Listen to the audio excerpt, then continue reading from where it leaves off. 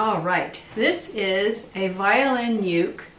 Uh, one of the bus drivers was dropping off some piano students and asked if I'd ever seen one and asked if I could borrow it for a week. So this is what I've managed to do with it in a week.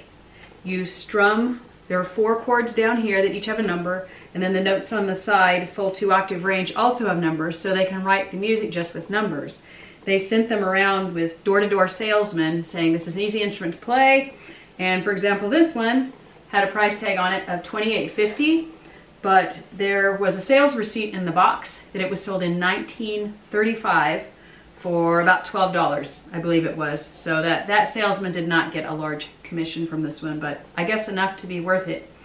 They are relatively easy to play and sound good, very difficult to tune. It took me a while to get that figured out and get it in tune to start with. And so for 1935, it holds pitch, it's interesting, and violin uke.